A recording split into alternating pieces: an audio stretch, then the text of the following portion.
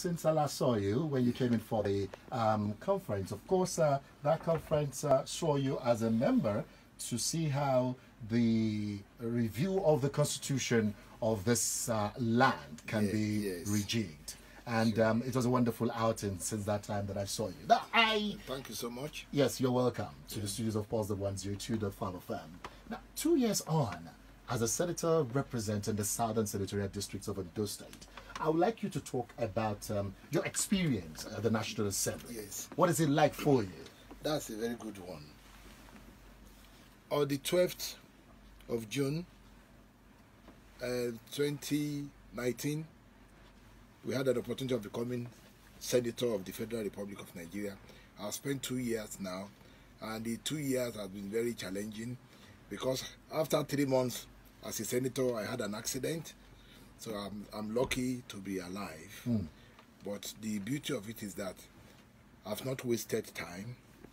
I've sponsored many bills. I've sponsored about eight. I've sponsored about eight bills, and I've sponsored over ten, um, 10 over ten motions. And what I've discovered is that when you are in the Senate, it's not only about the law; it's, it's beyond the law. You have to look after your constituency and it's very very unfortunate that Ondo South I will describe Ondo South as not part of Nigeria. Why would you say Yeah, that? because Ondo South has not benefited anything from Nigeria that is very, very significant. If you look at our budget, our budget this year is 12 trillion. And we have 109 senatorial districts. So if you are if you are going to divide 12 trillion into 109, that means that each senatorial district you have, you have access to 11 billion in a year for at least for 2021. But by the time you put it together and you look at the budget, what Ondo South will benefit cannot even be up to 2 billion, which is a very big shortage. In my senatorial district, we have the longest seashore, the longest seashore, that is 180 kilometers. 180 kilometers in Nigeria is long enough. There is no federal government presence in that region, and it's very, very unfortunate. And if I have an opportunity, because I still have two more years, as soon as I go back now, I'm going to, I'm going to sponsor a bill that federal government should put a naval base in that region, so that in so that our security can be very, very meaningful. Because invade, in, invaders can come in through Ondo South and invade Nigeria because there is no security there at all. The place is open. When you look at higher institutions, higher institutions in Ondo South, we have one and a half. We have the university and a polytechnic. yes. That makes it one and a half. Yes, it makes it one and a half. But some people they'll But- tell you those are two institutions. yeah, but if you look at if you look at Kaduna, Kaduna Metropolis, Kaduna, they have 57 higher institutions. Hmm. You see that the gap is enormous. There is no single federal government industry in Ondo South. And these are the things. So, like I said, two years on. So- so what is the now- experience like? yes. Some people will say two years on. Yeah, two apart years- from sponsoring those bills Yeah, and motions. yeah. What are you doing? Good. What have, for instance, now we have electricity problem in four local governments. I've been talking about it. I've- my voice is very clear on it, and the the federal government has pushed electricity to NDDC. NDDC they've tried. We've uh, we've been on it. They've they've built a power station in uh, and that power station should be taken off very very soon.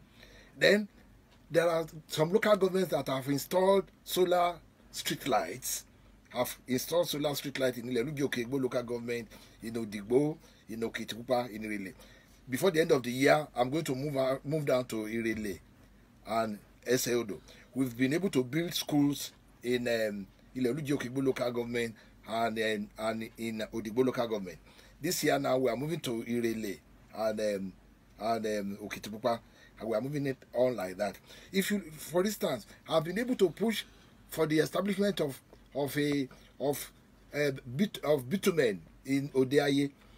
The beauty of it is that the people from Odeaye, they are nice people. They are so enthusiastic that something like this will come. Under underground, we have 120 miles, 20 miles of bitumen rotting away. In some parts of Odeaye, you see bitumen coming out live. And I've been making noise on this that we need a bitumen institute there. And with that bitumen institute, it will take care of past trials because in the past head of states they've been making move that we should have a bitumen. When they try it for some time they dump it. When they try it for some time they dump it. But with a bitumen institute when it takes place it will service all these ideas here and there. Nigeria has the second largest deposit of bitumen in the whole world and nothing has been done and it's in my friend, it's in my senatorial district. So we are making we are making a big cry that we need a bitumen institute there. If you look at uh, there's a place called Araromi Sea Front. Araromi Sea Front has a deep sea. It has a deep sea. That place can can accommodate a deep sea port. seaport. And if you look at Lagos, we have we have Tinkan Island, we have Apapa. We, those two ports, those two ports cannot service Nigeria because in the whole country we only have six six seaports taking care of 200 million people. It's a disgrace. In South Africa, they have 96 seaports, and in Nigeria we have we only have six.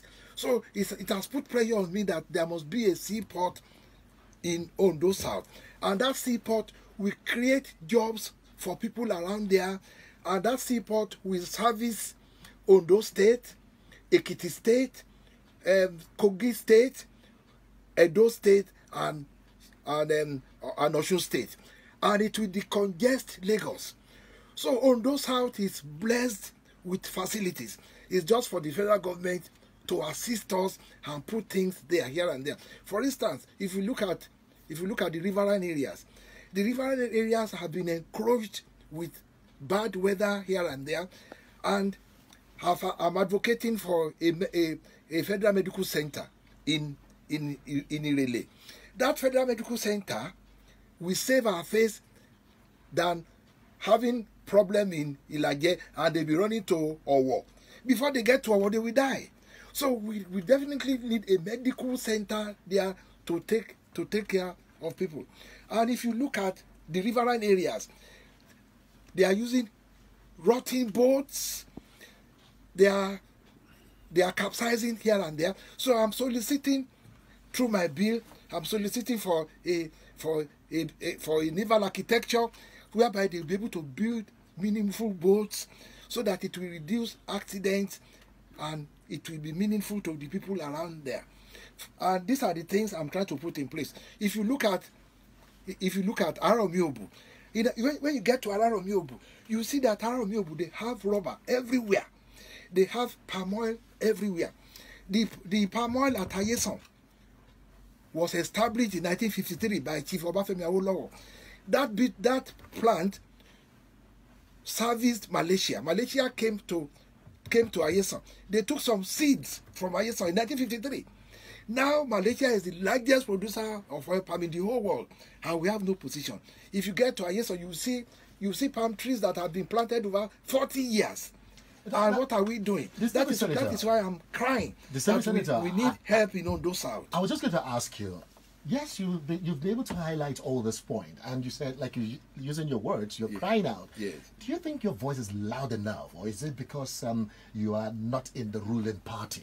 Yes, being in the ruling party doesn't mean anything. I I cannot be in the ruling party. is party. your voice loud enough? It, it's loud enough because I've sponsored some of these bills. We've got now we are waiting for public inquiry. And in the public inquiry, our people will come from Ondo South and make their voice to be heard. To be heard. Because the, the, the cry is that sort Ondo State, sort, sort Ondo South out so that we won't be crying that we are not part of Nigeria. Hmm. Because if you are if you are putting facilities in the north, if you are putting facilities in the middle belt, and in Ondo South, there's nothing there then it's very, very embarrassing. How have you been able to take care of the sea incursion that they are experiencing? Yes, the sea incursion, when it happened, I, I sponsored a bill in November so that Ayetoro can be resuscitated. But they never listened to me. Then I want to thank channels. Channels Television was always showing the incursion in Ondo South. Then We I- also talked about it. Yes, uh, I, yes, everybody tried. Then I raised another bill. That another motion. That motion was very, very powerful because I indicted federal government that federal government, this is your responsibility. Talk to Ondo State, talk to NDDC, talk to this oil company so that they can put things together and go and sort it out. Unfortunately, the next day they swung into action and things are going on there. But what Ondo South need is not just intervention. We need to have things on ground. If you look at look at cocoa, cocoa cocoa is is very conversant, is very meaningful in Ile Oluji, Idore, Ore, Udigbo, and all these places. We need a cocoa board because when we I've already sponsored a, a bill on cocoa board. When we have a cocoa board, the board will be buying this cocoa regularly, con- conserving it and helping the farmers and sell abroad. And we, if we have a seaport, we don't have to take those cocoa to Lagos. We just take it straight to Ararobi. And that seaport will open lot of opportun- opportunities because look at Irele. Irele. Plantain can grow anywhere in Irele. If we have a plantain plantation in Irele, a plantain plantation, they, they will be transporting but plantain every day abroad. That but Bahamas only rely on plant on banana. Bahamas. So in Irele, if you if you package plantain and we export it, it will create jobs for people. Look at what is happening now about all this cow going here and there. Anti-open grazing. Yes, anti-open grazing. Ondo, Ondo South is ready because we have we have agric settlement that have been established many years back that have been abandoned. Go, federal government can can cooperate with state government and let us redevelop all these all these agric settle agric settlements so that things can operate. And with agric settlement, the cows we are putting there will be producing milk. In England, you will never see a cow moving around. No, in America, America, America has over 94 million cows, and you will never see any cow at the airport. Interesting. Distinguished Senator, Yes, I really you. appreciate you for um, highlighting all this point. Now, let's talk about politics. Yeah. What's happening? PDP is a search for the next uh, national chairman. Yeah. And just this morning, we heard that uh, you people are considering um, David Mark, Senator David Mark, and the search is still No, ongoing. you know, let me tell you one thing. In, in a political setting, people carry this rumor here and there. Nobody is considering David Mark. No, nobody. Okay. But they are talking about making him the chairman of BOT. BOT, yeah. okay, BOT. If you are, if you want to be the chairman of BOT, it doesn't automatically turn Make to be the national chairman the, national anyway. chairman or the Yeah, president. yeah. But this is, you know, we are we are we are at, we are at halftime. Hmm. And when you are at halftime, because the election is 2023, and but when you are halfway, people will be surging here and there and so on. So what is happening in PDP now is normal.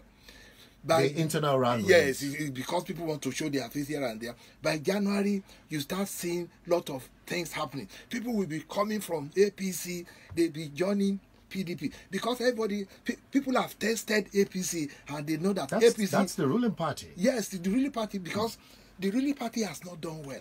If you look at our currency, our currency is falling at a geometric project, projection every day. And he said, and that is why things are very expensive. If you go to the market at eight o'clock to buy pepper for 10 naira, by the time you go back at two o'clock, they will tell you that it's 20 naira. That is the type of government we have now. And APC has a problem with leadership, and the leadership is affecting the whole country. So in 2023, people will see a different change about Nigeria. But the Uh, Senator, so I'm- Senator, I'm some people, some people will want to say the PDP was on the saddle for 16 years. Yes, when PDP was there, if you look at the condition presently, if you look at the condition presently, and you look at what happened when the PDP was managing Nigeria, the difference is clear because because when the president when when PDP was in power, um, what is it called? When PDP was in power, life was not as bad as this.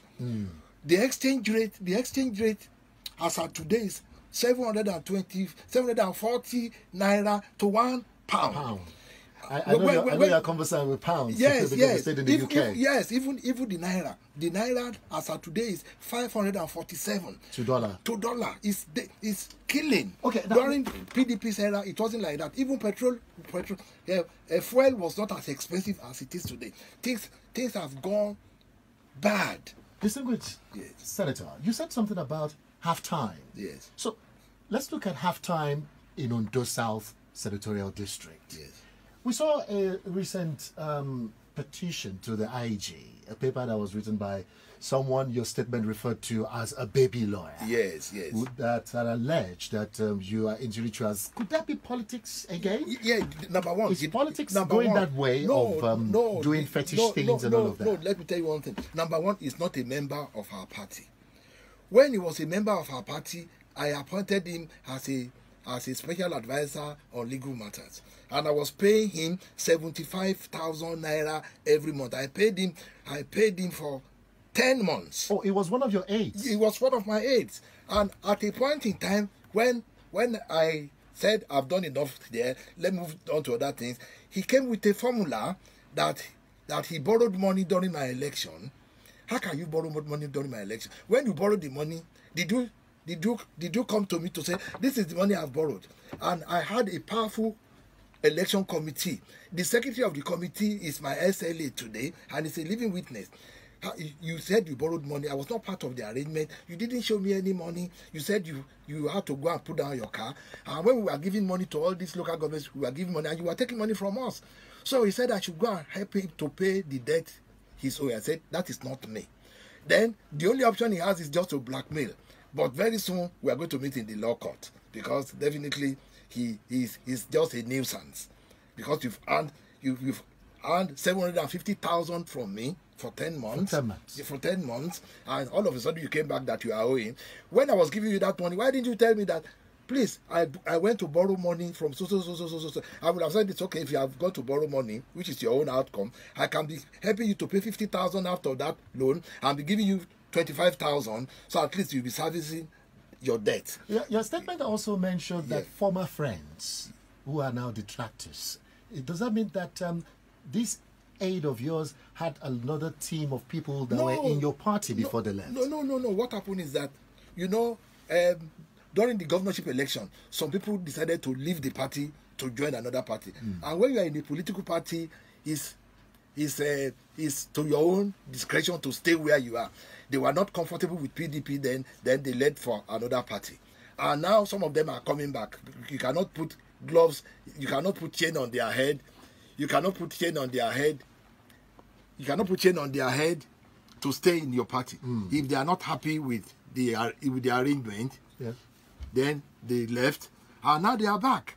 Coming back is not a crime. When you come back, we welcome you back. Interesting. That's, that's the position. Interesting. My dear listener, I've been chatting with distinguished Senator Nicholas Tofowomo of the Federal Republic of Nigeria, representing Ondo South Senatorial District uh, on the platform of the PDP in the 9th National Assembly. Now, I want to quickly ask you, like you said, it's half time. yes, it's after. What's the next move, distinguished Senator? Yes, the, the next move is to make sure that all facilities are extended to other parts and is to fight the electricity. Before I leave the second half, electricity will be in all the six local governments. Interesting. It's a priority. affirmative. Yes, it's You've a, been affirmative yeah, about it. It's a prior, it's a priority because the installations are already put in there. It's just to put one or two things together and bring the light. That's going to be a good news because Yeah, for it- over a decade, Yes, it- even be, it, it's an embarrassment. As soon as I get to the, as soon as I resume for the second half, my first, my first um, motion is going to be on the electricity. Then on uh, on putting a security device along that seashore, I will have a motion on it. The areas that have not put electricity, electricity, uh, I mean, have, have not put solar, solar will be put in Ilaje, Eseodo. Areas that I need to to assist in building schools, I will be able to service it, and I know I will do better in the second half than the first half because the first half I had accident and that, that accident has been so terrible. Up till now, I'm still on. I'm still on crutches, but we thank but, but I'm settling down gradually. So that is the position. We thank God for your life, of course, from that accident, and uh, you're still here kicking as a distinguished senator of the Federal Republic of Nigeria. Thank now, you. you just told us about the next move that you're here to fire your drive in the second half. Yes. Now, I want you to tell us about your political ideology because we've seen cases where politicians, you know, when the tickets are not given to them in future or something, They they, run, move a- to they the other side. Yes, let- What's let- your political yeah, ideology? my, like? my, my political ideology is very clear. You know, I spent 26 years in England and I saw how things are done. Unfortunately, we are opposite in Nigeria. My ideology is that let us look after our people. Let us look after our people. Let us put industries in places. Let us create jobs. When you create jobs, you are not only building people, you are even building the country. That is why I said, you know, those South have not seen it as part of Nigeria because there is no single industry there. For instance, look at glass industry that used to be in Oluwaglas. Oluwa Glass. Federal government can redrive Oluwa Glass. When they redrive, when they drive, they redrive Oluwa Glass. Oluwa Glass will create just for one, nothing less than ten thousand people, because they make it bigger. Let us explore our bitumen. When we explore our bitumen, we will create jobs. We will, create jobs. This School of Maritime and Naval Architecture that I'm proposing for SAODO, if it comes to place, people will have jobs, there will be safety, ev- everybody will be happy. For instance, I have, I have, a, I have a bill for Ileoluji, it's the Federal School of Federal School of Basic Studies.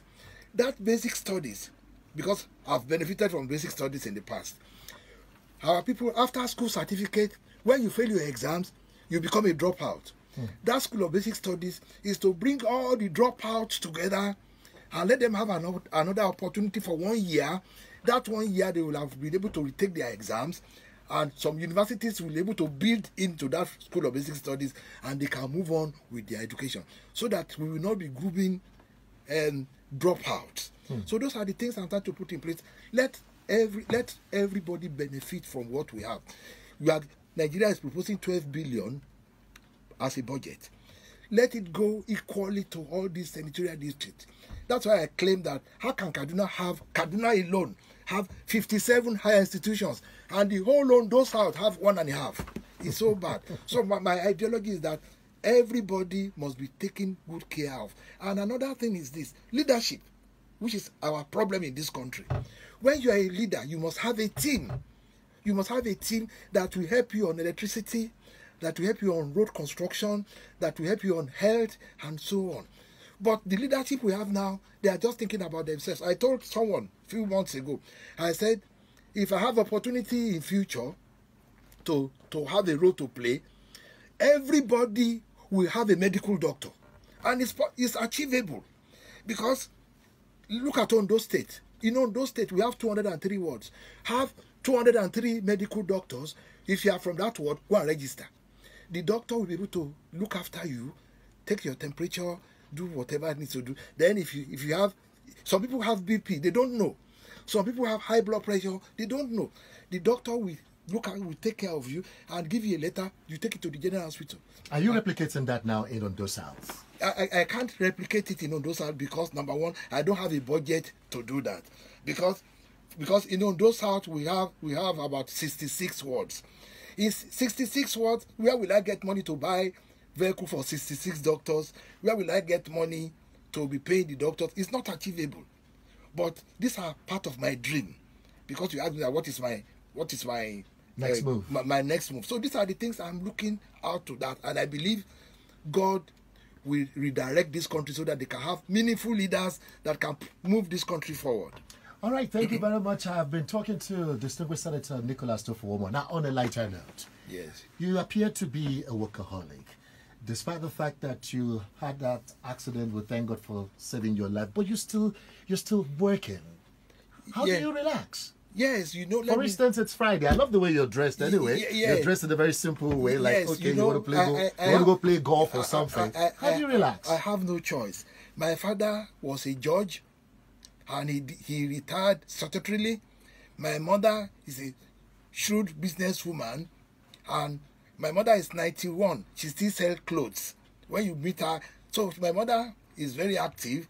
My father was very active. So I have no choice. I must be active so that the flag must be flying at all times. You know, let me tell you one thing. I want to seize this opportunity to thank Dr. Mimiko. When I was Dr. Mimiko's commissioner, I was his commissioner for six years. He gave me opportunity to perform. If you look at that was when he brought these shuttle buses. The shuttle buses we had 90 buses. And when I was leaving, I left the 90 buses In good shape. in good shape and for people and we were looking after children none of my family benefited from this school fee shuttle but my dream was to make sure that people are happy when you're working hard and people are happy around you that is good enough Now, thank you Thank God you just mentioned that particular um, time of years when you served. Yes. And um, uh, I want to take you now to the national level yes on the state of the nation. Yes. We've talked about um, the anti-open grazing law, which is a bill. I mean, a bill rather. Yes. It's going to be a law in future, Yes. and uh, we we are hoping to hear from you people at the National Assembly. by god's grace Now, but the Ondo State governor already passed that into law and um, he signed it. So, how would you react to this i've reacted i congratulated him immediately? immediately. I, I think I saw that. Yes. I- because number one, when you are doing well, either you are in party A, you are in APC, you are in any party. If you are doing well, it's my responsibility as a senator to to commend you. He has taken the rightful decision, and I'm I'm with him. For instance, but there's a move, but it's not just the anti-open grazing law. We should take a step further we should take a step further. We, we we don't expect these cows to be kept in their bedroom. Hmm. No. Let us talk. Let the states, the, south, the southern states, and federal government sit down. Let us establish cattle farms. If we establish cattle farms, the cattle will be in the farm. The cattle will be producing milk for people to consume. When I was in England, um, um, they call it dairies. Yeah. Milk was given to people free of charge. We have the we have the opportunity. We can see we can take advantage of it. Let us have cattle farm. It will create employment. Some people will be going to be bringing food there. They will buy the food from them.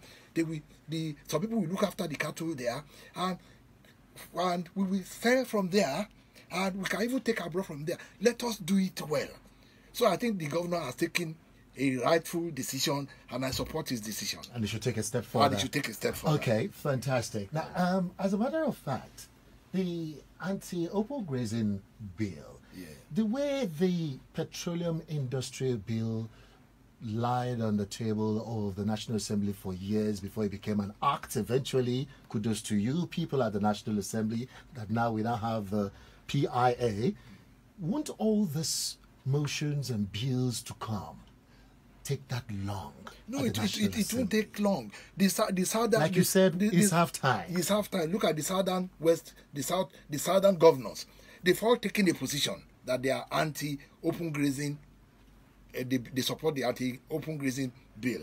All the southern governors, that is about 17 or 18 of them, they've taken a stand. So that will grant you speed at the National Assembly? Yes, and all the all the southern senators have comprehended that decision. So we are we are on the same page. And the issue is this: even in the middle belt, the middle belt senators can now see far